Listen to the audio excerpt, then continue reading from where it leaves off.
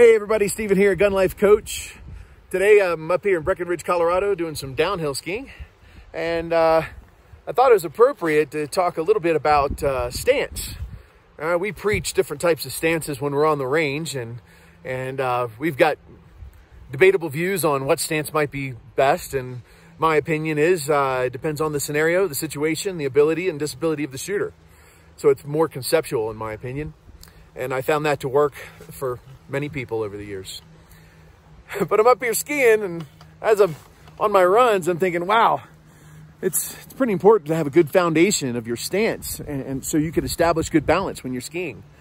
And uh, it, because if you don't, you get out of balance, you don't have a good stance, uh, things can go wrong pretty quickly.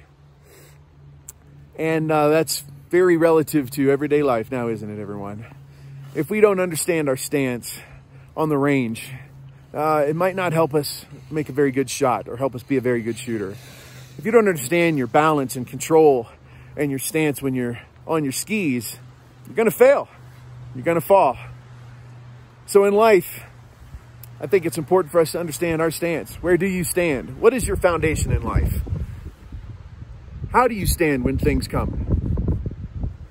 Do you waver? Do you fall? Or do you know your foundation? This is how you're going to proceed. This is how you're going to move forward. This is how you can help others. Understand your stance, know your foundation, and help others get up when they're down.